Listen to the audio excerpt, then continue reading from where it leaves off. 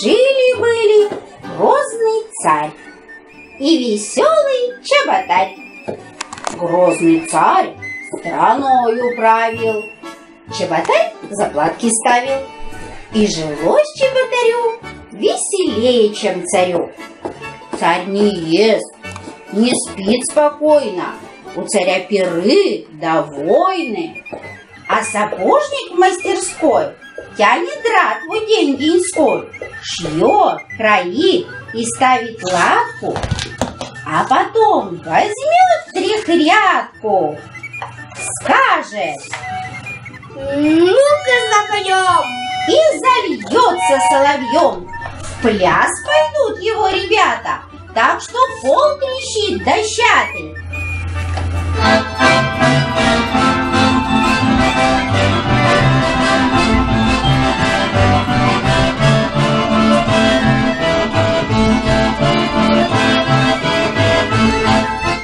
Но прослушал государь, как беспечен чеботарь, Издает приказ он краткий.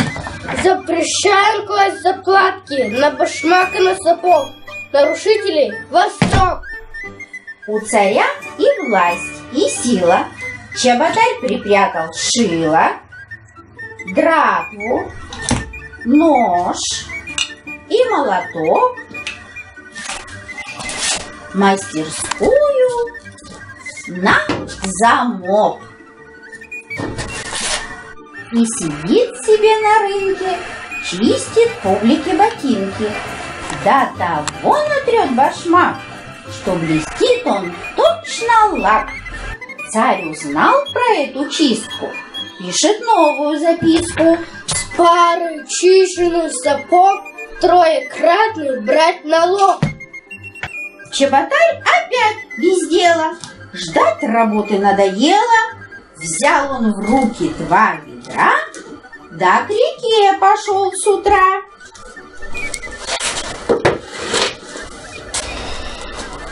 Стал он в жаркую погоду продавать речную воду. Подходи, народ, сюда. Вот холодная вода.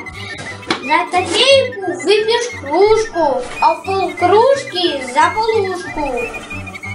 Поступил царю донос.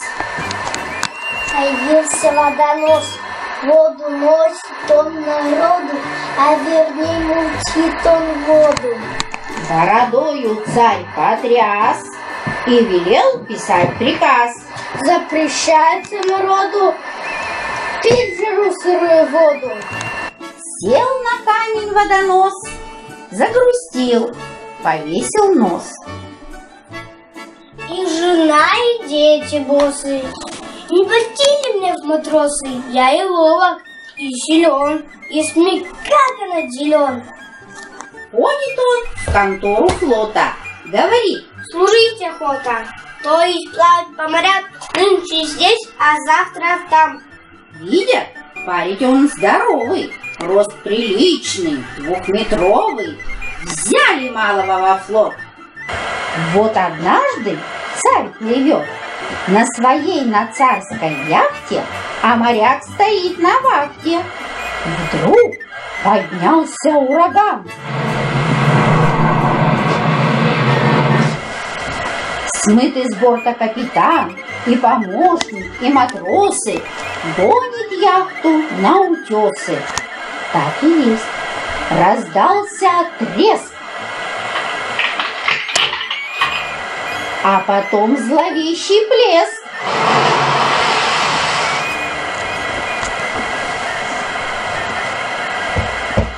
Где пробоина? Умойся! Лейтенант зовет матроса. Надо про заплату класть, чтобы судну не пропасть. Положим, положить заплату можем. Ну, простите, ваша власть не велит заплатки класть. Царь выходит из каюты, непричесанный, разутый, по колено борода, по колено и вода.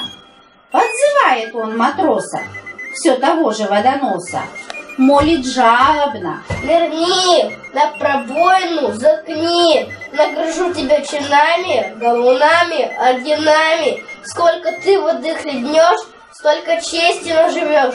За глоток воды студеной, а медаль золоченой. А матрос царю в ответ. Воду пить приказа нет. Не велели вы народу пить жару да ладно, я нырну, не идти ж нам ко дну. Только вы уж извините, все приказы отмените, или каждый ваш приказ обернется против вас.